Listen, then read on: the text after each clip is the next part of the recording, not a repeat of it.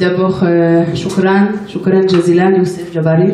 Merci beaucoup d'avoir accepté euh, de me faire l'honneur d'être euh, à une table ronde tous ensemble. Je sais que c'est pas tout le, tout le temps évident euh, pour les Palestiniens, après 70 ans d'occupation, 70 ans de colonisation, de continuer à accepter, euh, à dialoguer à une même table avec euh, une ONG israélienne. Donc je vous suis très reconnaissant. Euh, évidemment, merci à l'FPS de m'avoir invité. Euh, je le dis euh, avec euh, toujours avec émotion, mais je pense que la FPS a été, euh, euh, je crois, la première association euh, à comprendre l'intérêt d'inviter des voix dissidentes, des voix anticolonialistes israéliennes, non pas comme folklore, mais vraiment comme acteurs politiques de la lutte du peuple palestinien. Donc merci pour votre confiance renouvelée, merci de m'accueillir à votre université d'été. Quelques mots sur Decolonizer. Je vais, je vais pas en dire beaucoup sur Decolonizer, d'abord parce que beaucoup d'entre vous euh, m'ont déjà entendu. Euh, soit à Tel Aviv, euh, soit j'ai eu la chance de, de venir tourner déjà beaucoup dans, dans vos régions. Et puis bah, ceux qui m'ont pas entendu, vous n'avez qu'à m'inviter. Alors, euh, Decolonizer, c'est une toute petite ONG qui est basée à Tel Aviv. Alors nous, on aime bien utiliser Tel Aviv Palestine 48 euh, pour être un peu provocateur dans ce qui est reconnu aujourd'hui comme le territoire israélien. Euh, le travail de Decolonizer, c'est euh, de faire rencontrer des sphères qui en général dialoguent très peu, la recherche et le militantisme. Euh, et notre, notre objectif politique, il est de mettre en lumière la nature coloniale du régime israélien. Alors en disant dès le départ la nature coloniale du régime israélien, euh, j'en profite pour faire des, petits points de vocabulaire comme ça. Euh, nous à Decolonizer, mais je sais qu'à la FPS c'est aussi souvent le cas, on parle pas de conflit israélo-palestinien par exemple. Alors euh, pourquoi pas parler de conflit israélo-palestinien alors que c'est un, vocable qu'on utilise souvent et qu'on porte euh, malgré nous euh, parce que c'est celui qui est utilisé. Quand on utilise le vocable de conflit israélo-palestinien, on met à un même niveau les Israéliens les Palestiniens à qui on demanderait finalement de faire des efforts. Chacun devrait faire des efforts pour euh, arriver à la justice. Et l'utilisation de ce vocabulaire qu'on appelle euh, norm- normalisateur, en fait, c'est un vocabulaire qui, euh, qui nie la violence de l'occupation, qui nie la violence du projet colonial. Donc, il faudrait qu'on apprenne, nous aussi, militantes et militants, à décoloniser euh, notre propre vocabulaire. Nous, à Decolonizer, on parle de conflit colonial, de projet colonial, mais je vais, je vais revenir dessus. Euh, en tant que militant anticolonialiste, euh, d'abord, on a plein de façons de se définir. Euh, Aujourd'hui, c'est moi qui parle, mais Decolonizer, c'est pas que moi. Je me définis comme féministe, c'est quelque chose de très important dans ma définition identitaire. Euh, je suis militante anticolonialiste. Euh, je suis résidente en Israël et pas israélienne. J'espère que vous ne serez pas déçus.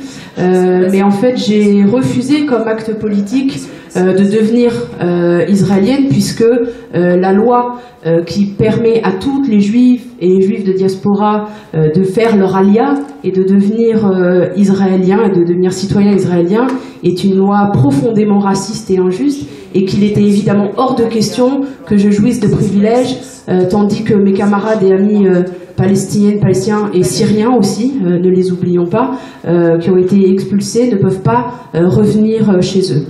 Alors on s'est demandé, en tant que militant anticolonialiste, qu'est-ce qu'on pouvait faire Parce que voilà, qu'est-ce qu'on peut faire dans la lutte du peuple palestinien? D'abord, est-ce qu'il y a une place pour les militants juifs israéliens? C'est pas si c'est pas si courant. Je pense que notre premier travail en tant que militant anticolonialiste, c'est d'abord de reconnaître nos privilèges. C'est d'être conscient des privilèges qu'on a, d'être juif, israélien, en Israël, hein, je parle. Il y a d'autres sphères dans lesquelles c'est moins euh, privilégié, mais dans, le cadre israélien, d'être juif, israélien, blanc. La question de la blanchité, c'est quelque chose qui est aussi éminemment important dans la société israélienne. Euh, je rappelle que le sionisme est un projet colonial blanc européen qui a été pensé en Europe, qui s'est nourri en Europe d'autres projets coloniaux blancs européens. Et quand on lit les écrits euh, euh, des, leaders sionistes, et notamment de, la droite révisionniste sioniste, on voit bien l'obsession anti-levantine. hein. on se rappelait de Ben Gourion qui disait qu'est-ce qu'on va apprendre de ces juifs du Maroc qui bouffent du couscous avec les mains, alors que nous autres, Ashkénazes, euh, on était déjà très, très, très dans les hautes sphères. Et puis aussi, c'est un, un, un projet qui se nourrit, qui continue à se nourrir de, alors je suis un peu désolée d'être si brute, de, l'inaction internationale. C'est-à-dire que tant là, on est en train de parler euh, depuis tout. Moi, j'ai la tâche un peu délicate de, de représenter euh, le côté euh, israélien. Alors, je sais pas si je suis une bonne représentante parce que pour représenter vraiment la minorité de l'opposition, de la marginalité, on n'est pas grand chose. Alors, je pense pas que vous entendrez dans ma bouche quelque chose qui peut vraiment traduire ce qu'est la société israélienne. on est aussi une partie de la société israélienne, mais toute minime. Euh, en tant que militants anticolonialistes qui reconnaissons euh, cet état de fait, ces privilèges, euh, on, sait, c'est important pour nous de, rappeler que les Palestiniennes et les Palestiniens ne nous ont pas attendus pour connaître leur histoire, ils ne nous ont pas attendus pour définir leur stratégie de résistance. Et donc on, a demandé, tout simplement, parce que c'est aussi ça le rôle d'allié politique, c'est de demander aux populations dont on est les alliés, qu'est-ce qu'on peut faire pour vous filer un coup de main et la réponse unanime, ça a été merci beaucoup, mais nous on a besoin que vous travailliez sur votre propre société. On a besoin que vous travailliez sur les Israéliens. Chacun sa merde. Vous avez les vôtres. Et c'est déjà un travail énorme. Et donc tout le travail de decolonizer, avec cette posture anticolonialiste, c'est de travailler à décoloniser l'identité collective israélienne, cette identité collective d'occupants, de colons. Encore un petit mot de vocabulaire. Euh, en général pour le droit international, est appelé colonie, euh, ce qui est euh, en, dehors, en, dehors, de la ligne verte, enfin au-delà de la ligne verte, c'est-à-dire dans les territoires occupés. nous, à Decolonizer, on a une, position qui est un peu différente, qui est celle de devoir remettre le curseur sur 48 et pas sur 67. Et donc, à Tel Aviv, euh, où, euh, est basé euh, Decolonizer, on n'est on n'est pas fier de le dire parce que c'est pas une identité positive, mais on est aussi des colons. parce que Tel Aviv n'est pas sorti du sable. Tel Aviv a été construit sur les ruines de huit villages palestiniens et je pense qu'il est important que nous nous en rappelions ensemble. Alors à, à Decolonizer, on a un double public, on a la société israélienne, je l'ai dit, parce que notre travail c'est de travailler les nôtres. Euh, donc on travaille en hébreu, on travaille dans la rue israélienne à la fin. Euh, et puis le deuxième public qu'on a, c'est vous, euh, la communauté internationale, parce que vous allez voir, je vais le décrire. Moi, j'ai la, la responsabilité de faire un tour d'horizon. C'est pas très glorieux côté israélien, et donc vous allez comprendre que sans vous, sans la pression internationale, en fait, il n'y aura pas de changement significatif sur place. malheureusement, j'aimerais vous dire le contraire, mais on ne convainc pas euh, les foules, on soulève pas les masses. Donc euh, on a besoin de votre aide parce que sans vous, il ne se passera rien sur le terrain. Euh, alors, je, suis la représentante de, ce côté juif de la cinquième colonne, de ces, juifs qui se détestent, de ces soutiens du terrorisme. Alors ça me rend déjà un peu plus fière que de soutenir, que de représenter la société israélienne. évidemment, Decolonizer, on n'est pas tout seul il y a en Israël euh, tout un tas d'initiatives très intéressantes. Euh, certaines, euh, Youssef les a, les a mentionnées, il y a des organisations que vous connaissez bien. il y a Breaking the Silence, il y a Zohot, qu'Etan a, a, fondé il y a 15 ans. Il y a aussi l'AIC de Michel Warszawski, je crois que beaucoup d'entre vous l'ont déjà rencontré. Donc il y a des, îlots de résistance ici et là, clairsemés, euh, le vrai problème qu'on a, c'est euh, l'intersectionnalité des luttes. Euh, il y a très peu de travail commun, c'est-à-dire que euh, Taayouch va dans cet endroit-là, Betselem est plus sur cet endroit-là, Zohot travaille plus sur la Nakba, Decolonizer sur la nature coloniale, donc on travaille sur la Nakba, mais on travaille aussi sur l'occupation de 67, la seconde phase d'occupation donc de 67, et notamment dans le Golan syrien, parce que quand je vous parle de 67, en général, euh, on pense directement à la Cisjordanie et à la bande de Gaza, et on oublie euh, que 130 000 Syriens aussi étaient expulsés euh, du Golan.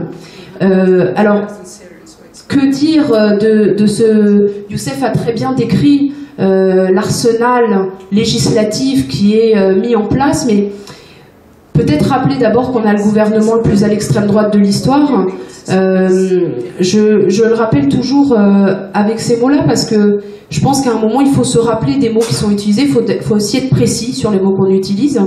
Euh, on a quand même euh, une ministre de la Justice euh, qui déclare qu'il faut génocider les Palestiniens et ne surtout pas oublier les femmes parce qu'elles reproduisent les terroristes. On a un ministre d'éducation qui dit Naftali Bennett, qui dit qu'on a du sang d'arabe sur les mains et qu'il ne voit aucun problème à cela, etc., etc. On a Miri Regev, la ministre de la Culture, dont je parlerai plus tard, euh, qui déclare par exemple que les migrants soudanais sont un cancer. Donc quand, quand aux plus hautes sphères du pouvoir, on peut utiliser ce vocabulaire-là sans être démis de ses fonctions, sans qu'on demande des excuses publiques, bah, c'est la porte ouverte évidemment à une banalisation de la parole raciste euh, qui, faisait déjà bien son chemin euh, dans le projet colonial, puisqu'on n'a jamais vu, je le rappelle, de projets coloniaux euh, progressistes. Ça n'existe pas, même si, en Israël comme en France, ils ont été portés par la gauche institutionnelle. Je tiens quand même à le rappeler. Euh, en Israël, le mur de séparation, c'est les travaillistes qui l'ont pensé, qui l'ont construit. Alors l'extrême droite au pouvoir, la droite au pouvoir est très heureuse de s'engouffrer et de continuer de perpétuer euh, cette politique coloniale, mais cette politique coloniale, elle n'a pas commencé avec Netanyahou et avec l'extrême droite au pouvoir. C'est vraiment une gradation. Alors là, on a effectivement, on assiste à une accélération. Euh, une accélération de l'arsenal euh, législatif ou qui s'adresse, je le rappelle, depuis 70 ans, qui tape sur les Palestiniens et les Palestiniens, et dont le curseur est en train de, de s'agrandir un petit peu. Ça fait 70 ans que le travail du projet colonial, c'est de dépalestiniser la Palestine. Ça, c'est clair.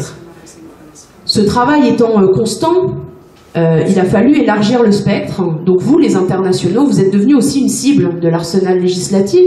Donc euh, Youssef l'a rappelé, la FPS euh, a l'honneur, moi je pense, d'être sur la liste noire du gouvernement israélien parce que je partage euh, l'opinion d'Youssef, c'est que si vous êtes sur cette liste, c'est que le travail que vous fournissez euh, est important et fait peur à Israël. C'est exactement ce qui s'est passé avec le mot Nakba, on viendra dessus. C'est exactement ce qui se passe avec la campagne BDS. De non-objets, on est en train, par les victoires qu'on a, par le travail acharné euh, que vous faites, vous êtes en train de faire peur à Israël. Donc être sur cette liste noire, je sais que ça brise le cœur de certaines et de certains parce que vous ne pouvez plus accéder au territoire, mais c'est une, victoire politique, prenons-la comme ça. Pourquoi, euh, on assiste à, l'accélération On assiste à une accélération, Thomas l'a rappelé, d'abord, effectivement, euh, l'élection de Trump est venue euh, marquer un coup d'accélérateur. Alors moi, j'ai sur les questions d'accélération, je pense qu'on peut regarder le projet colonial comme une accélération depuis le début. Il y a des paliers de stagnation, et puis il y a des moments historiques, l'élection de Trump en est un, qui viennent encore euh, ajouter euh, de l'huile sur le feu. Évidemment, le transfert de l'ambassade qui n'est pas encore fait, soit dit en passant, ça aussi, on peut commenter euh, à quel point les effets d'annonce sont parfois pas suivis d'actes. mais on, on arrive à cette accélération aussi alors c'est très provoque de le dire, mais c'est aussi une victoire politique, ces accélérations. C'est aussi parce qu'Israël va dans le mur et qu'Israël commence à avoir des échecs ici et là, qu'il y a des retraits, par exemple la question du tramway, il y a des, artistes qui refusent d'aller se produire euh, à Tel Aviv. il commence à y avoir une prise de conscience aussi qu'il faut arrêter de normaliser les relations avec Israël parce que Israël n'a pas une politique normale et qu'on ne peut pas aller chanter pour un État euh, qui a une politique d'apartheid. Alors, ce dont on parle là, c'est évidemment pas en termes de euh, gouvernement, hein, puisque alors là, par contre, on est dans le mouvement inverse, avec, par exemple, rien qu'en parlant de la France, un Macron ou un Valls qui sont capables de dire que l'antisionisme, ce sont les nouveaux habits de l'antisémitisme. moi, je vous le dis, en tant que juive, en tant que corps juif, en tant que personne dont une partie de la famille a été euh, exterminée, c'est une offense qui est faite à mon histoire juive quand on utilise mon histoire, quand on utilise mes morts pour opprimer une population. Ne vous laissez pas faire, personne n'est dupe. On sait bien que le mouvement de solidarité avec la Palestine n'est pas antisémite. Euh, passons à autre chose, laissons-les euh, divaguer, mais faisons un travail important de distinction, nous aussi, entre antisionisme et antisémitisme constant. Alors, ce qui se passe, je l'ai dit, c'est une accélération, mais c'est pas nouveau. Et euh, la loi euh, d'État-nation du peuple juif, c'est une bonne métaphore, en fait, de ce qu'est le projet euh, colonial depuis le début. Oui, elle est en discussion depuis quelques années et elle va très vraisemblablement être passée euh, euh, sous peu, mais elle vient en fait formaliser ce qui était dans la pratique. Les citoyens palestiniens en Israël ne sont pas des citoyens égaux en termes de loi. Les citoyens palestiniens en Israël n'ont pas la même justice que les citoyens israéliens juifs. On a pu le voir. Si vous êtes, euh, par exemple, si un de vos cousins a eu l'idée, vous êtes palestinien, un de vos cousins a euh, décidé euh, d'attaquer un soldat un jour, votre maison peut être détruite, la maison de votre cousin va être détruite, la maison du voisin du cousin, la maison de l'oncle du cousin, puis la vôtre aussi, parce que vous êtes quelque part lié à cette famille. Il y a une, prise de responsabilisation de tout le peuple palestinien. Dans, à l'inverse, vous êtes un, un jeune terroriste euh, juif israélien, euh, vous mettez le feu à une maison, vous brûlez un bébé et ses parents, là je parle évidemment de la famille d'Awabché, euh, vous écopez de peine, alors c'est encore en discussion, euh, le procès euh, auquel nous on va pour soutenir la famille d'Awabché est reporté euh, presque ad vitam aeternam. Et évidemment, il n'est pas question d'impliquer en termes de responsabilité les parents de ces criminels, ce qui est d'ailleurs normal. Personne n'a à répondre de la criminalité d'un acte d'un cousin, par exemple. Mais des exemples de comment le système législatif a, dès le départ, été pensé dans l'inégalité sont euh, légion. Il y a énormément d'exemples. Ça, c'est le contexte dans lequel on est. Et nous, on travaille en tant qu'organisation, en tant qu'ONG. Donc, euh, on, l'a dit tout à l'heure, on est des, traîtres. euh, euh, ça en long, en fait, sur ce que c'est que l'identité collective israélienne. Il faut mettre à la place des Israéliens aussi. hein. On a demandé à des juifs polonais, des juifs irakiens, euh, du Yémen, du Maroc, etc., etc., de devenir israéliens. Alors j'ai un collègue euh, anthropologue qui disait bah, tant qu'on fait, la, fait guerre aux Arabes, on se fait pas la guerre entre nous.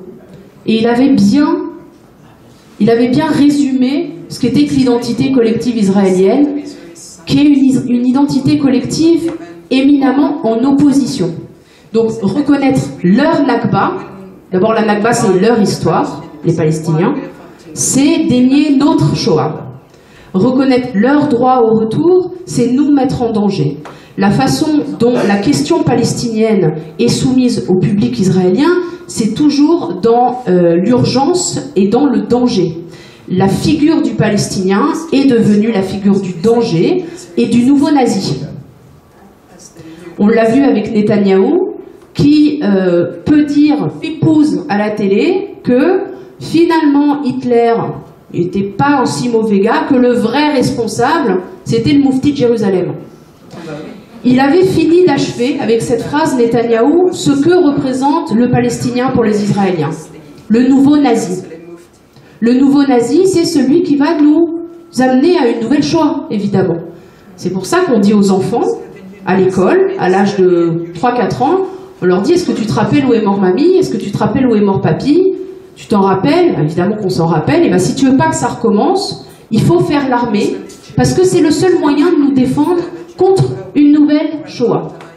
Donc la société israélienne, elle est éminemment une société euh, traumatisée, et puis une société qui, a le, malheur d'avoir un pouvoir colonial qui utilise son trauma, non pas pour le guérir, mais pour continuer à alimenter euh, ses enjeux coloniaux.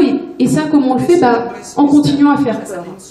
Alors, ce que dit, aussi euh, euh, la société, la situation dans laquelle on est, c'est l'énorme déconnexion des Israéliens par rapport aux Palestiniens. Les Israéliens ne connaissent pas les Palestiniens. D'ailleurs, si vous envoyez votre gosse euh, à l'école euh, primaire, enfin à l'école euh, du coin, il y a des écoles où il y a que des juifs, des écoles où il y a que des Palestiniens, des écoles où il y a que des Druzes, et beaucoup de, jeunes Israéliens, à moins de grandir dans un milieu particulièrement militant, rencontrent leur premier patient à 18 ans quand ils ont un uniforme sur le dos. On a connu évidemment des lieux de rencontre plus apaisés en termes en termes de, de connaissances. Alors, ce que évidemment, on assiste à, un ensemble de, lois liberticides. Alors, on a parlé un peu de la loi de l'État-nation qui vient vraiment montrer, je rappelle que en 1948, quand, il a, quand la Nakba a dépalestinisé la Palestine. Et Ethan reviendra sans doute dessus demain avec euh, la carte qu'on a élaborée qui montre bien en fait ce processus qui a commencé avant la Nakba et qui est un processus continu. Parce qu'on ne peut pas comprendre ce qui se passe aujourd'hui à l'Arakib ou dans la vallée du Jourdain ou à Gaza sans revenir à l'essence du projet colonial, donc à la fin du 19e siècle, que ces lois, euh, elles se cristallisent et ce qu'elles viennent cristalliser, c'est euh, le danger vécu comme tel euh, par les Israéliens de la, perte de l'État juif. Israël est un État qui n'hésite pas à se définir et qui ne voit pas de contradiction à se définir, enfin qui ne voyait pas, parce que le projet de loi vient changer quelque chose un petit peu là-dedans. N'hésitez pas à se définir comme juif et démocratique. Il ne voyait pas la contradiction entre être un État juif et démocratique. Maintenant, la mention qui est faite dans le projet de loi de nation, c'est un, Alors attendez, je l'ai noté parce que. Un État juif démocratique. Alors c'est subtil, hein, il n'y a qu'un petit mot, mais ça, ça, veut dire, euh, ça veut dire beaucoup. On n'a même plus besoin de prétendre être démocratique, parce que quand on a un État juif démocratique, bah, la démocratie, elle est pour les juifs. C'est quand même pas très. Euh, c'est dans la définition même. Hein. Alors, Qu'est-ce que ça veut dire euh, de travailler sur ces lois? Ça veut dire qu'on est à contre-courant tout le temps de la société israélienne euh, et qu'on a face à nous un, ensemble de lois qui essaient de nous empêcher de travailler. Alors moi, je vais revenir plus particulièrement sur les lois qui touchent un peu les militantes et les militants. je parlerai de quatre lois. La première loi qui nous concerne directement, par exemple à Decolonizer, parce que je l'ai dit, hein, ces lois qui touchent les Palestiniens sont en train de se de, bouger, c'est-à-dire que il y a les Palestiniens qui sont en ligne de mire, qui sont les principales victimes, il y a les internationaux qui peuvent plus venir, et puis maintenant on s'attache aux derniers bastions qui sont les Israéliens euh, en solidarité euh, à l'intérieur. Alors nous par exemple, on est soumis à une loi qui s'appelle la loi des ONG. Alors cette loi des ONG, elle est très pratique euh, pour le gouvernement israélien. Elle date de 2016 et nous devons, suite à cette loi, déclarer toutes les subventions provenant de, l'étranger euh, d'un corps qui appartient à des financements qui appartiennent à l'État. Exemple, le CCFD, nous c'est notre donneur principal. Le CCFD a une partie infime de son budget par l'État. Donc ça suffit à en faire pour Israël un organe d'État français. Quand la moitié des subventions d'une ONG viennent de l'extérieur, euh, elles doivent être consignées. Ça veut dire qu'on doit écrire sur un rapport public que vous devez trouver sur Internet, que telle personne nous donne tant. Ça marche aussi pour les privés. Euh, et alors cette loi, elle est très pratique parce que de fait, elle concerne que les ONG de gauche. Pas dans le texte. Mais la réalité, c'est que toutes les ONG de droite et d'extrême droite qui se font arroser de centaines de milliers de dollars, ça vient souvent de fonds, de fondations, de fonds privés. Donc ces fonds privés, là, ne passe pas par euh, la même législation, donc on peut continuer à euh, différencier. C'est très intelligent, hein. remarquons le brio de, cette, de cette loi qui, n'ayant même pas besoin de faire la distinction, l'a fait pratiquement. Aussi deux lois en discussion qui sont très importantes et qui viennent marquer le stigmate des Israéliennes et des Israéliens en solidarité avec les Palestiniens. D'abord, il y a la loi BDS, euh, la loi BDS, elle est en discussion. Alors je, j'en profite euh, pour faire un petit point. Euh, à Decolonizer, on est une des trois organisations israéliennes à soutenir la campagne BDS en tant qu'organisation israélienne. Ça ne veut pas dire qu'il n'y a pas plus d'Israéliens qui soutiennent la campagne, mais ça veut dire que c'est une position de principe de notre organisation. alors la la loi BDS qui est en discussion, elle promet à chaque citoyen israélien appelant au boycott même des territoires occupés, c'est-à-dire que c'est intéressant, Israël qui passe son temps à définir euh, la distinction entre le boycott, la campagne BDS qui serait selon elle une attaque contre Israël et le boycott des territoires occupés qui là répond au droit international, en fait Israël entretient, euh, entretient euh, ce mélange puisque dans la loi BDS, il s'agit aussi du boycott des territoires occupés. Alors chaque Israélien appelant au boycott peut écoper quand il est dénoncé, c'est-à-dire euh, là dans la salle, quelqu'un dit Ah, Decolonizer euh, soutient la campagne BDS, c'est 25 000 euros d'amende. Alors 25 000 euros d'amende pour une organisation comme nous, c'est, je crois je, me demande si c'est pas plus que notre budget annuel. donc c'est évidemment fait pour nous empêcher de soutenir l'appel de la société civile palestinienne. Si l'État d'Israël arrive à montrer le préjudice, alors exemple, Mick Jagger décide de venir chanter à Tel Aviv. L'appel de la société civile, la campagne BDS, décide d'envoyer une lettre à Mick Jagger pour lui dire, s'il te plaît, euh, ne viens pas chanter euh, à Tel Aviv. Nous, on fait partie euh, de ces organisations israéliennes qui signons en soutien cette lettre, et donc il y, a, bah, il y a toujours les trois mêmes noms, hein, donc euh, Decolonizer, Boycott euh, de l'intérieur, Boycott from within, et Coalition of Women for Peace, la coalition des femmes pour la paix. Et donc Mick Jagger se dit, voilà, ok, finalement c'est une, ils ont raison, ils arrivent à me convaincre, je ne vais pas venir jouer à Tel Aviv. Donc là, ça a un coût, c'est-à-dire qu'il y a une annulation d'un concert, il y a des remboursements de billets, enfin ça coûte très très cher. Si l'État d'Israël réussit à prouver le dommage, le préjudice, alors là, l'amende, je l'ai écrit parce que j'avais du mal à le croire, c'est 125 000 euros d'amende. Alors, ces lois, euh, elles sont faites pour qu'on puisse plus s'exprimer. Alors, on est en train de réfléchir euh, aux réponses qu'on peut apporter à ça, parce qu'on est un peu démunis, je ne vous cache pas, que là, euh, avec ces, lois liberticides, on, sent l'espace dans lequel on pouvait bouger qui est en train de se réduire. Ça, c'est important de dire que c'est aussi l'espace du privilège israélien juif qui est en train de se réduire, puisque l'espace palestinien était déjà euh, largement réduit. Euh, et donc, on est en train, une des propositions qui avait été faite, euh, c'était par exemple de dire si la loi BDS passe en septembre, nous soutenions la campagne BDS jusqu'à septembre 2018. Oui, mais alors quelle est votre position? Nous soutenions la campagne BDS jusqu'à septembre 2018. Alors, on est en train d'essayer de trouver des. On n'a pas de. J'ai pas de réponse en fait à vous donner. Euh, on est en train de réfléchir à ça. Euh, il y a aussi la loi euh, film.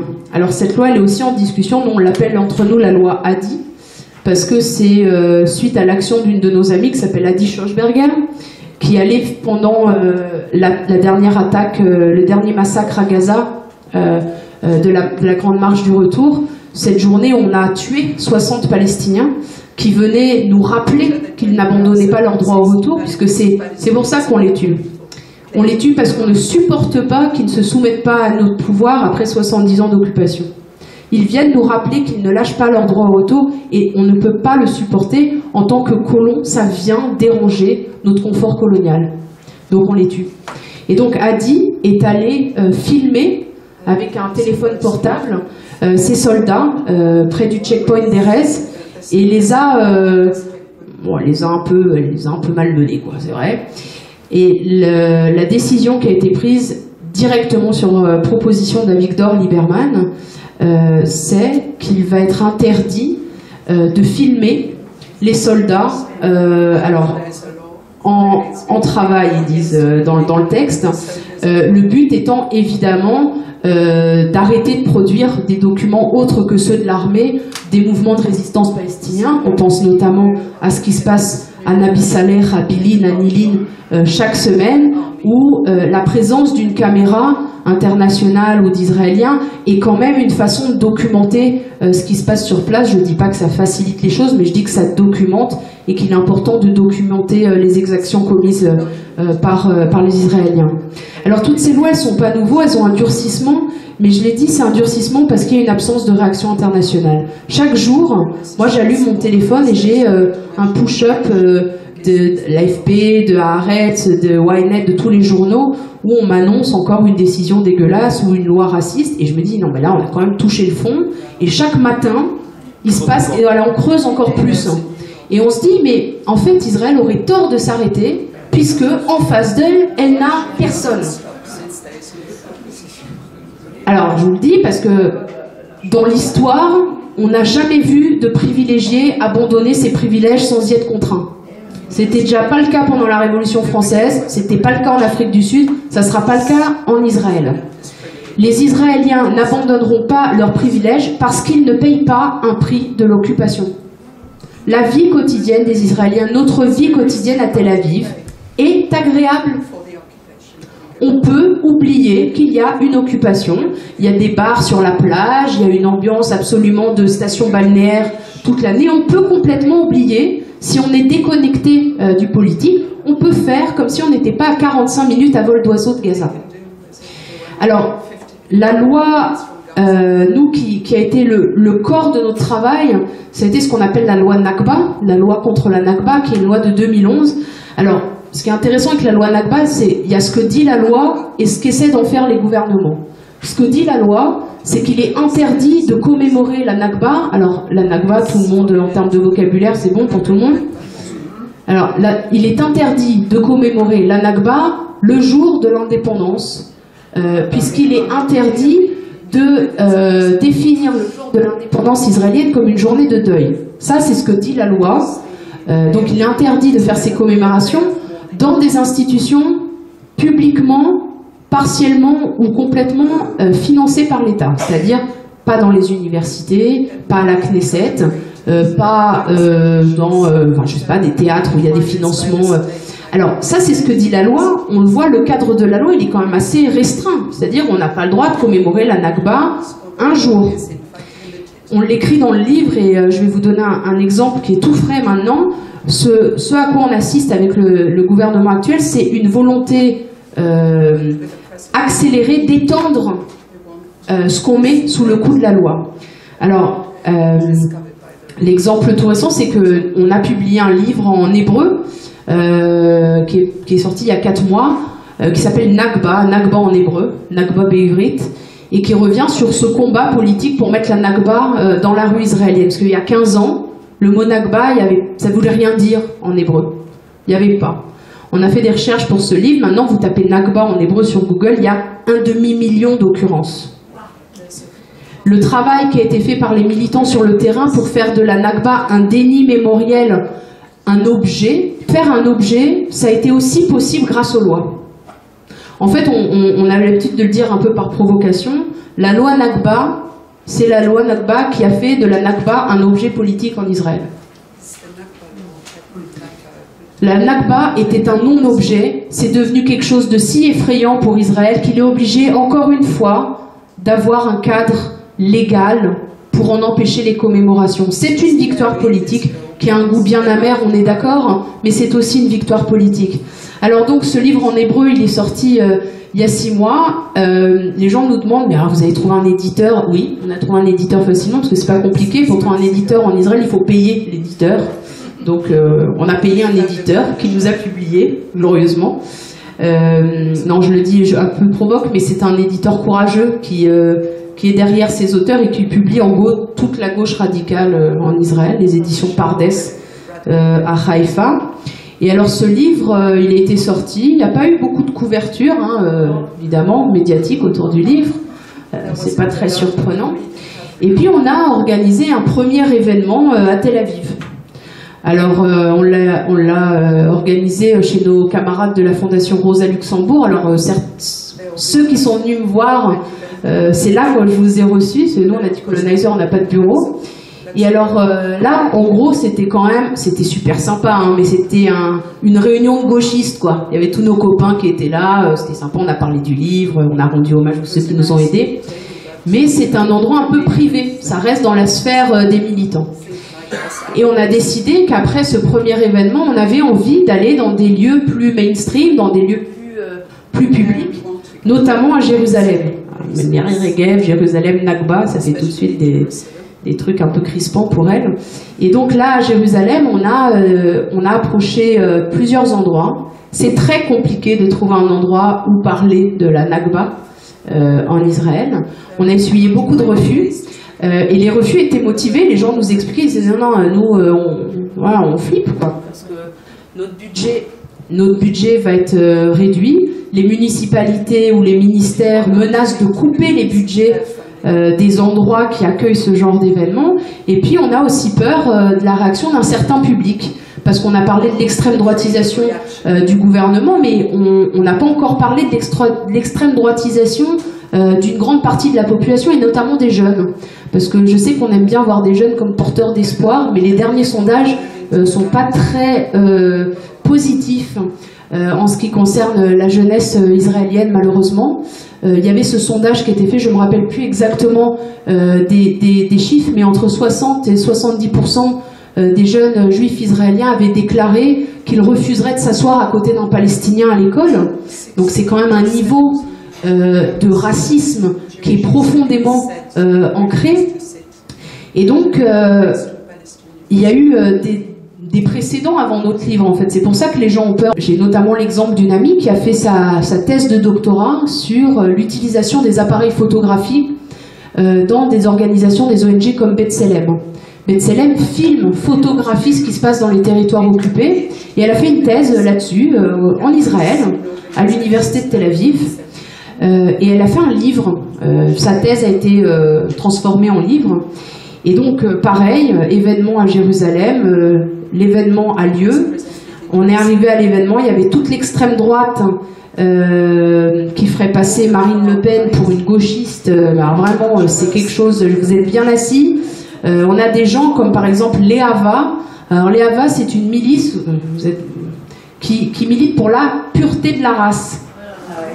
Alors, euh, mon, histoire juive, là, mon corps juif est en train de trépasser en, utilisant ces mots parce que je me rappelle de mon histoire, justement. Et donc, le, job de Léava, c'est de faire des ratonnades dans les rues de Jérusalem pour emmerder les couples mixtes. Alors en plus, euh, c'est un, peu essentialisant et orientalisant euh, euh, comme boulot parce qu'ils ont du mal à, reconnaître un, juif arabe d'un palestinien arabe. Donc il y a eu des cibles ratées. on va dire, et puis surtout ils font le tour des restaurants de Jérusalem pour mettre la pression sur les patrons pour pas qu'ils recrutent de travailleurs palestiniens. Donc ça, c'est un peu euh, l'endroit dans lequel on se trouve. Et puis sort ce livre de la copine, Léava vient, et euh, je me rappellerai toute ma vie des mots qu'ils ont, utilisés. D'abord, ils ont cassé l'électricité pour que l'événement se déroule dans le noir, ce qui est toujours sympathique euh, pour une soirée de, lancement. Et puis, ils nous ont accueillis avec une, une aide d'honneur, et ils nous, ils nous criaient en hébreu, les nazis ont transformé vos grands-parents en savon, et nous allons faire la même chose avec vous. Ça, c'est ce qu'on peut entendre quand on fait partie euh, de la gauche radicale euh, en Israël. Nos portraits, euh, on vit avec des menaces de mort. nos portraits sont parfois placardés dans les rues principales avec nos coordonnées. C'est pas tous les jours hein, non plus comme ça, mais il y a des moments de violence qui en plus euh, sont souvent, vont souvent avec des grandes décisions. Euh, quand par exemple Netanyahou, euh, le jour des élections, en période de tension, où il a besoin de faire oublier ses casseroles et où il a besoin de resolidifier sa base israélienne autour de la haine de l'arabe, ben c'est évidemment dans ces moments-là, dans ces pics-là, que nous on subit ces attaques. Et donc, après ces précédents, on a eu du mal à trouver un endroit pour faire ce livre. Et puis on a fini par trouver une galerie d'art euh, gauchiste, hein, la vérité, euh, mais qui reçoit des subventions, une partie de son budget, où, le bâtiment appartient à la municipalité de Jérusalem. C'est le bâtiment. Donc ils ne reçoivent pas de subvention directement, mais le bâtiment appartient à la municipalité. Et donc là, euh, on se met d'accord avec la fille, super, bah ouais, ça sera tel jour, on a tel intervenant, des Palestiniens de là, d'ici, de là, tout. Et puis elle nous appelle, elle dit, on a un problème, une semaine avant l'événement. On a un problème, euh, la ministre de la Culture et la municipalité de Jérusalem euh, nous collent un procès pour interdiction euh, de la soirée et fermeture du lieu.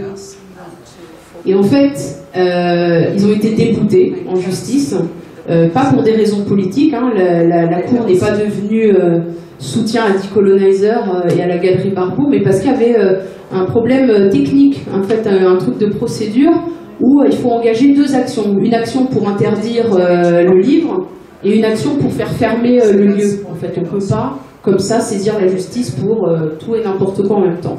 C'est la démocratie. C'est la démocratie. Et donc, Israël, le ministère et la municipalité perdent. Ils font appel. On a trois systèmes de cours. Il y a la cour c'est cours, cours, cours supérieur et cours suprême en gros. Donc ils ont perdu au premier niveau de la cour, ils ont fait appel. La deuxième cour les a aussi déboutés. Donc euh, l'événement a eu lieu. Mais je voudrais vous lire une phrase de la lettre de Miri Regev qui explique le motif invoqué. Une discussion sur la Nakba serait donc une subversion contre notre existence même, nos symboles et nos valeurs. Ça, c'est pas mon voisin qui dit ça. C'est la ministre de la Culture qui, donne les budgets, qui coupe les budgets aussi de tout ce qui n'est pas assez loyal euh, dans, son, radar politique. Ce que fait Miri Regev, elle utilise la loi Nakba, elle dit devant la cour, et puis en plus il y a la loi Nakba, et le juge, qui connaît la loi, lui dit bah non, il a rappelé le cadre en fait de la loi. La loi Nakba, je vous je vous ai dit ce que c'était tout à l'heure, et ça ne rentre pas dans le cadre de la loi Nakba. Alors ce qu'il faudrait, c'est qu'ils agrandissent euh, la loi Nakba, ce qu'on ne souhaite pas, mais c'est vers ça, euh, ils essaient de tendre au maximum euh, pour augmenter leur pouvoir de, de réduire à silence. Alors, quel est le contexte en fait Pourquoi Miri Regev dit colonizer Je vous l'ai dit, c'est un tout petit truc. Ce livre, je pense que c'est quand même un tirage assez confidentiel. Il n'y a pas, voilà, c'est pas, euh, pas Breaking the Silence qui a un nom euh, très connu. On est tout petit, et donc on s'est dit mais c'est quand même étrange euh, que, que ça tombe un peu comme ça. Et en fait, ce qui s'est passé, c'est que euh, cette, cette interdiction, cette, cette action en justice, elle a eu lieu quelques heures après une vraie victoire politique qui a été quand l'Argentine et Messi ont refusé de venir jouer en Israël. Alors, calmons-nous, ils ont, ils ont, ils ont euh, refusé de venir jouer à Jérusalem. Parce que si le match avait été à Haïfa, ils y seraient sans doute allés. c'est pas des anticolonialistes, c'est quand même des capitalistes. Passons. Mais ça, c'est une, une, un échec tel pour, euh, pour Israël que du coup, Israël, c'est un peu euh, la société qui va dans le mur et puis qui fait table rase, un peu la terre brûlée avant d'arriver jusqu'au mur. Et donc, on voit aussi l'intérêt de la connexion des luttes et qu'il n'y a pas de petite victoire. Toutes les petites victoires, parce que souvent les gens disent oh, mais c'est quand même pas, grand chose quoi. Non, c'est énorme. Et juste un petit mot sur le football. Le football en Israël, c'est une religion. Je vous l'ai dit tout à l'heure, les Israéliens ne, ne payent pas le prix de l'occupation. C'est-à-dire que quand euh, Neal des Fujis ne vient pas jouer, tout le monde s'en fout. Quand Messi, qui est l'idole euh, des mômes israéliens comme euh, des mômes partout, euh, bien sûr, mais les Palestiniens, on parle même pas d'eux, puisque Messi n'aurait pas l'idée d'aller jouer à Ramallah ou à Gaza. Et donc, là, quand on touche à quelque chose qui vient vraiment déranger le confort, c'est là que les Israéliens commencent aussi à voir le prix qu'il y a à être un occupant. Et je reprends toujours euh, les, les mêmes mots, mais il n'y a pas d'occupation pacifique. L'occupant, le colon, paye toujours un prix de sa participation au projet colonial et à l'occupation. La France est d'ailleurs bien placée pour le savoir euh, en Algérie.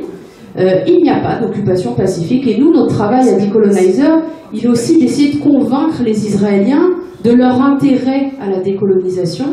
Et c'est évidemment un devoir de justice envers nos camarades et amis palestiniens, mais c'est aussi un travail pour nous. Et d'ailleurs, la militance, c'est jamais que par altruisme. La militance, c'est aussi pour nous, pour nous-mêmes.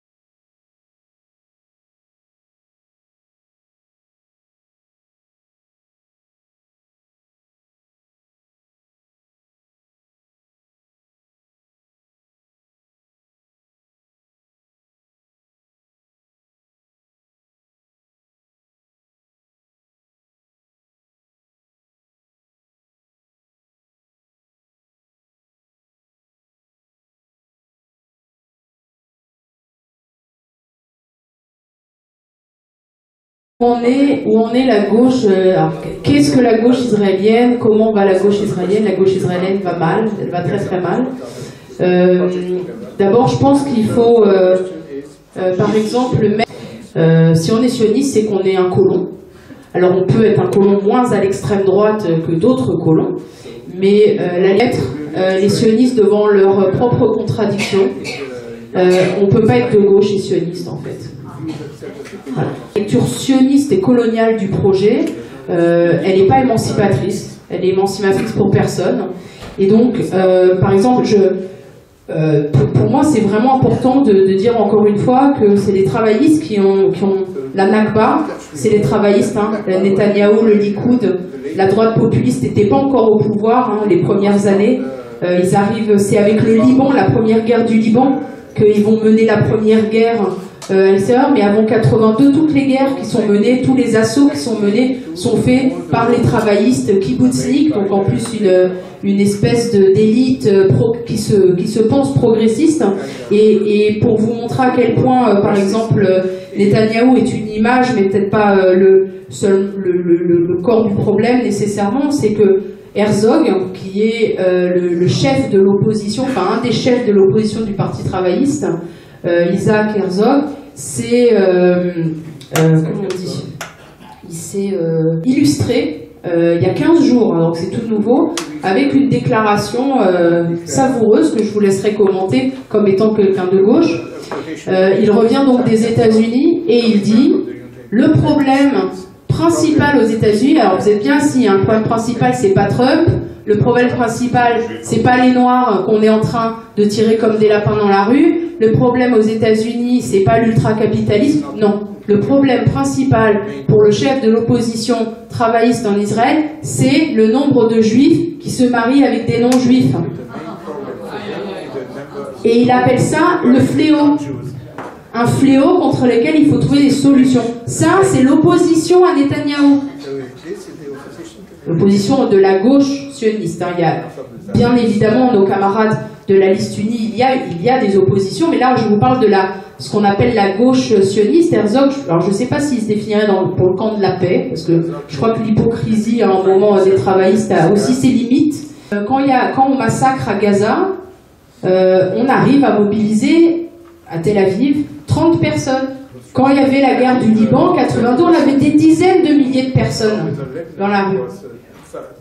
Alors, il faut aussi, euh, je pense qu'à un moment, on s'interroge, nous, militants, sur euh, nos pratiques militantes et aussi euh, comment, pourquoi on pêche à recruter, en fait, pourquoi on pêche à, mobiliser. Et je pense qu'une des réponses, elle est, elle est effectivement dans ce que tu disais de ces jeunes Israéliens qui ne se reconnaissent, qui veulent pas se reconnaître dans nos pratiques militantes, donc qui ne s'y retrouvent pas. Il va falloir à un moment, je pense, qu'on se pose des questions sur ces pratiques militantes. Voilà, il faut plusieurs euh, sortes de militants. Euh, vraiment, je pense que euh, il faut plus faire l'honneur à, ceux qui se revendiquent comme étant de gauche de, de les appeler la gauche. Euh, je pense qu'il faut qu'on fasse attention à ça. Juste un petit mot sur le Likoud. En fait, pourquoi le Likoud est réélu euh, Enfin, parce qu'on se dit, mais c'est pas. Mais en fait, c'est vraiment à voir aussi avec euh, toute cette construction identitaire. Euh, le Likoud, c'est euh, le parti de droite populiste qui est euh, très perçu comme en opposition aux travaillistes ashkénazes, qui ont fait des compromis, qui bougent pas. On le voit avec Herzog, enfin la, rue pense ça, alors nous on fait ça. Et donc les Israéliens, qui, enfin je veux dire, quand on lit les écrits sionistes, on le voit depuis le début, le monde entier nous déteste. Et donc les Israéliens euh, continuent à se dire, mais en fait Netanyahou, parce que Netanyahou il a, un- statut de demi-dieu. Il y a des gens en Israël qui ne croient pas qu'il est coupable de tout. Enfin, c'est prouvé, il va au tribunal et, et il est presque intouchable. Et les gens continuent à le réélire parce qu'il est le représentant de celui qui ne se laisse pas marcher sur les pieds. Il, il montre au petit peuple qu'on est fort. Et il a raison. Depuis, les, relations n'ont jamais été aussi normalisées. Il y a le Giro qui passe euh, en Israël, il y a l'Eurovision qui va avoir... le- et, en fait, Israël, les relations n'ont jamais été aussi normalisées.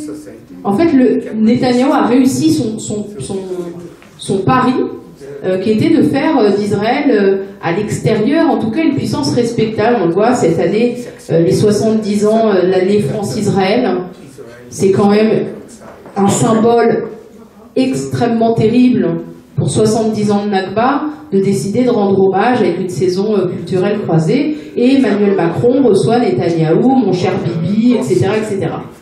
Et donc, en fait, les Israéliens disent, en fait, Bibi, c'est celui qui nous représente le mieux. Et c'est celui qui ne se laisse pas avoir, c'est celui qui défend nos droits. Donc, jusqu'à ce qu'il y ait une, une, opposition euh, qui soit capable, effectivement, de prendre euh, le contre-pied euh, de ce que propose Netanyahu à, une échelle massive, les gens continueront à voter euh, avec cette, cette veine très populiste que savent bien manipuler les gens comme Netanyahu. Comment les Israéliens voient Gaza? Il y a un très bon exemple. donc entre la marche du retour et, et, le jour de la Nakba, les, les Palestiniens de Gaza ont décidé de cinq semaines d'action. Donc ces actions, c'était principalement de venir jusqu'au. Alors là aussi, attention au vocabulaire, c'est pas la frontière. Euh, il faut, on va parler du checkpoint, de la limite imposée par Israël. Euh, et donc ils viennent euh, nous rappeler qu'ils n'ont pas oublié leur droit au retour, et donc on les tire comme des lapins, 60 personnes en une journée. Et puis bah, le jour où, où on tue 60 personnes, je vais vous décrire ce qui se passe à Tel Aviv le jour où on tue 60 personnes à Gaza, 45 minutes de vol d'oiseau. le jour où on tue 60 personnes, il y a Neta Barzilai, euh, qui est euh, la gagnante de l'Eurovision euh, pour Israël, qui rentre à Tel Aviv. Et le jour où on a tué 60 personnes, il y a un concert gratuit, place Rabin, avec des dizaines de milliers de personnes qui dansent et qui célèbrent la victoire. Et il y a eu un édito du Haaretz qui disait que une société qui est capable de danser et de faire la fête le jour où 60 personnes ont été tuées est une société qui est malade mentale. Et je pense qu'on touche avec cet édito du Haaretz à quelque chose de profond parce que les Israéliens vivent dans une déconnexion absolue. Je peux vous parler de ce qui s'est passé en, par exemple en 2014, euh, quand nous avons massacré à Gaza, il y avait évidemment des roquettes qui tombaient. Donc on avait, euh, nous aussi, 90 secondes pour aller se cacher avec nos gosses euh, euh, dans les escaliers. Et on était avec nos enfants, et le voisin se retrouve avec tous les voisins, parce que tout le monde se met dans la cage d'escalier. Et le voisin dit à Noam, qui avait à l'époque 8 ans, il lui dit T'inquiète pas, mon, copain, on va tous, on va tous les massacrer. C'est-à-dire que pour les Israéliens, le problème, c'est pas qu'on massacre, c'est qu'il y a des roquettes qui tombent ils sont incapables de comprendre la logique, c'est-à-dire le résultat, seul le résultat compte. Il y a des roquettes qui tombent, donc c'est légitime euh, qu'on y aille. Et j'irai même plus loin, le, ce que vous entendrez le plus dans la société israélienne, c'est qu'il faut en finir avec Gaza. C'est ça que vous allez entendre.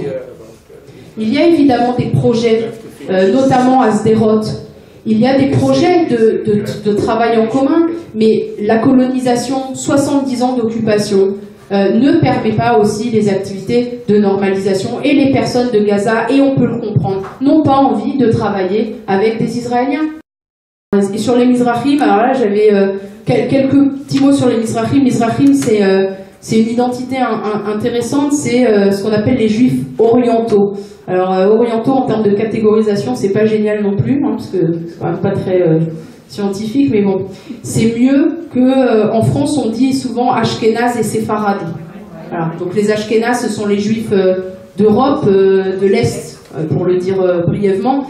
Et alors les, ce qu'on appelle les séfarades, qui en fait est une erreur, on devrait dire Mizrahi, c'est une identité en défaut, c'est-à-dire et Mizrahi qui n'est pas Ashkenaz. Alors c'est déjà terrible comme définition, euh, mais alors ces juifs, euh, moi je préfère l'appellation de juif arabe euh, dont Thomas a parlé, parce que parce que ce qui s'est passé en utilisant l'utilisation de juif arabe, c'est aussi reconnecter avec notre arabité.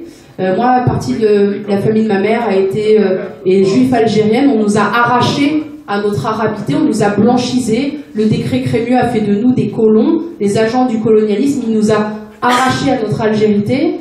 Et il est temps aussi qu'on revendique à nouveau cette arabité. C'est ce qui se passe avec une petite partie de ces juifs euh, arabes euh, en Israël qui ont été discriminés, c'est-à-dire que le pouvoir colonial n'est jamais rassasié. Évidemment que les principales victimes du projet colonial sont les Palestiniens, mais ce sont aussi au sein de la société israélienne, qui est une société extrêmement hiérarchisée et segmentée, les juifs arabes.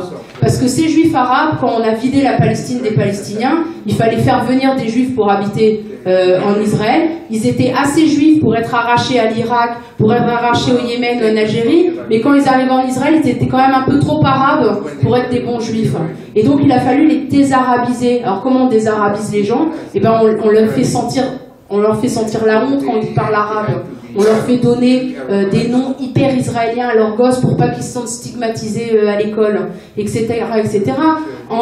Jusqu'aux années 70, l'université en Israël avait des quotas pour les Mizrahim. C'est-à-dire que tout le monde ne part pas avec les mêmes chances non plus quand on est juif euh, en Israël. Et alors ces jeunes Mizrahim, ils, ont vu leurs parents essayer de s'intégrer, ils ont vu qu'en fait, le, ils se sont rappelés ce qu'était l'ashkenazité, c'est-à-dire la blanchité, et ils ont vu qu'il resterait toujours des arabes. Et ils se sont dit, bah, ça suffit, khalas, d'être, euh, d'avoir rejeté notre arabité, on se la réapproprie.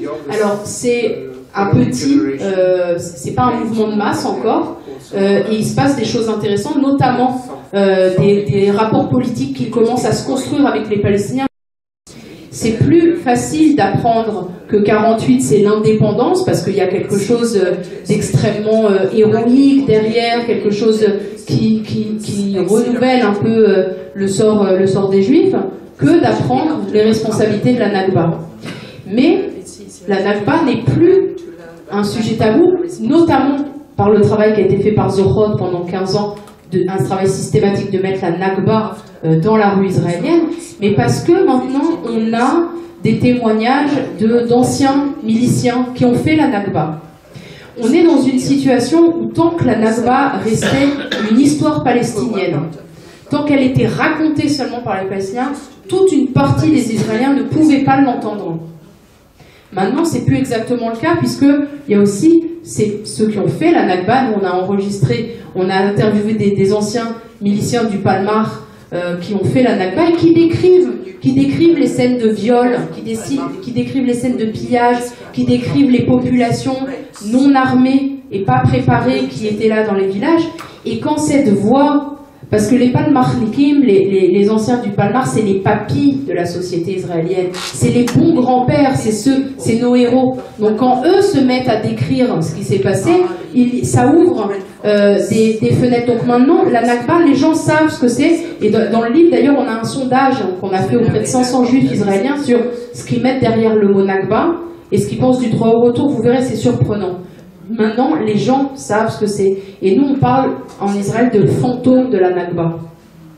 C'est-à-dire qu'on peut, on peut faire tout ce qu'on veut pour la couvrir, on peut faire des lois pour en empêcher les commémorations, on peut nous interdire l'accès aux écoles, mais en fait, la Nakba, elle ressurgit un peu partout, notamment dans les rues de Tel Aviv, où vous le savez pour ceux qui l'ont vu avec Ethan, au détour d'un petit escalier, on se retrouve dans Jamassine, ou dans euh, euh, ce qui était avant Chermoines, par exemple, les villages palestiniens sous, euh, sous Tel Aviv.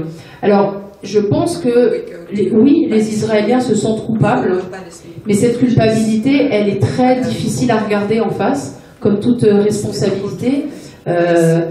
Mon grand-père disait qu'en 45, tous les Français s'étaient réveillés résistants. Bah, je pense que dans la société israélienne viendra ce jour aussi parce que les Israéliens sont opportunistes comme tous les autres êtres humains, et que quand Israël sera défait, les Israéliens euh, verront, on a, on a un collègue, Michael Sfard, un, avocat qui a écrit un article euh, dans, dans Arrête justement qui disait est-ce qu'un jour vous direz que vous étiez tous contre l'occupation Ça viendra ce jour-là aussi.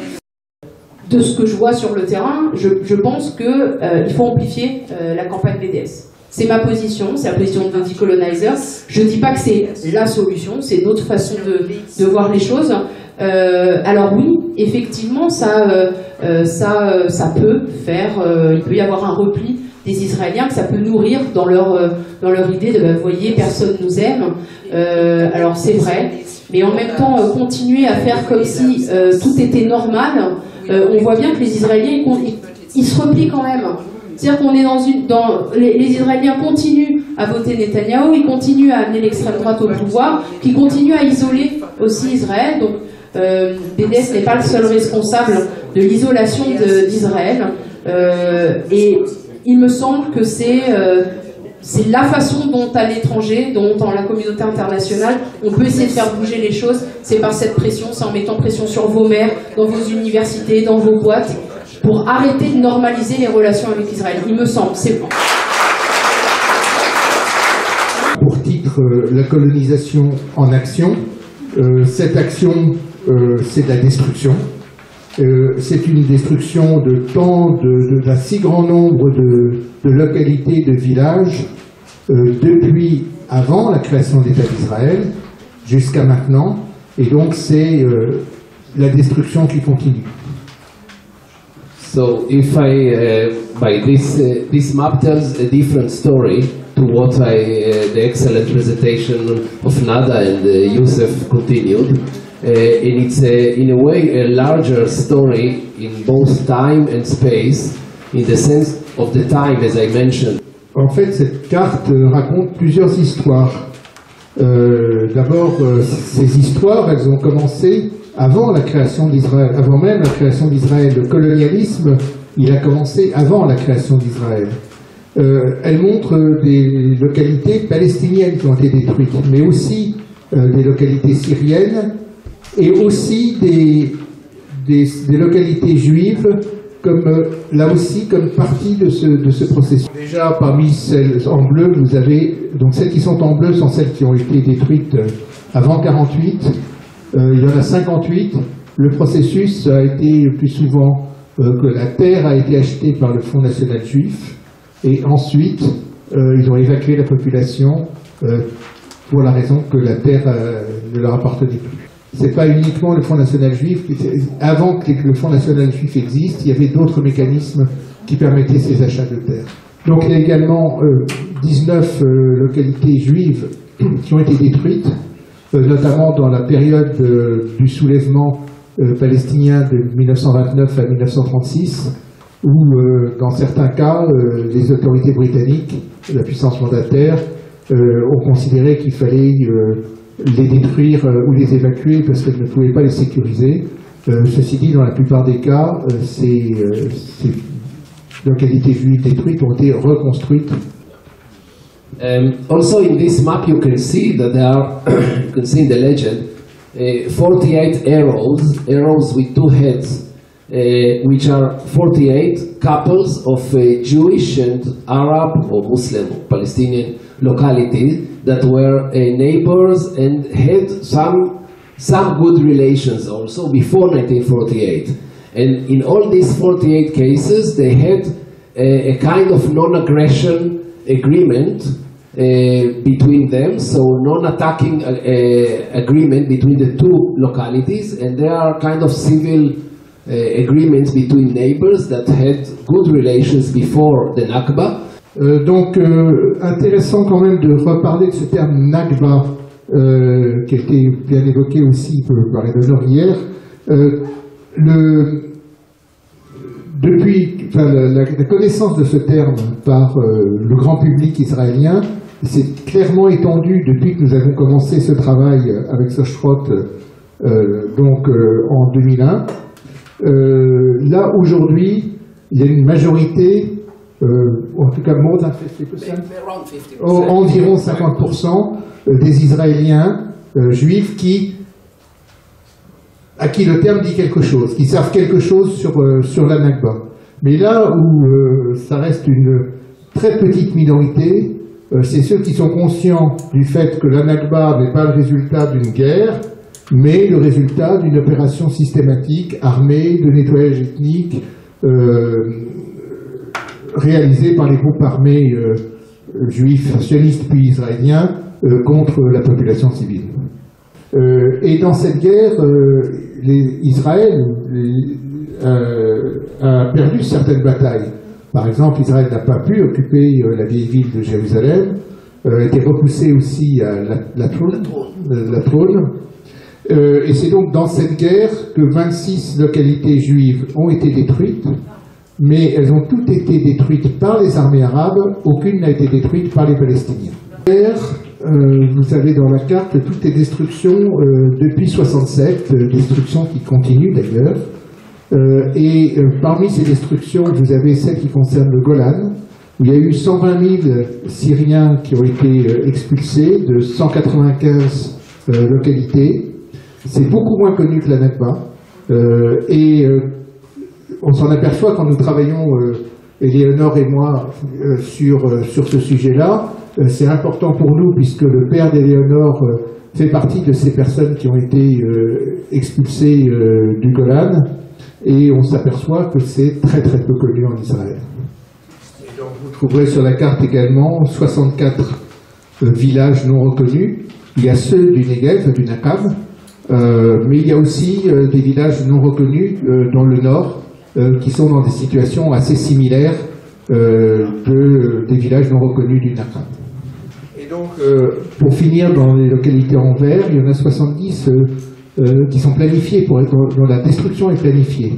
Euh, donc, euh, il y a les cas, euh, par exemple, de la région de Mahalé Adoumi, mais dans le secteur E1 dont on parle en ce moment, notamment à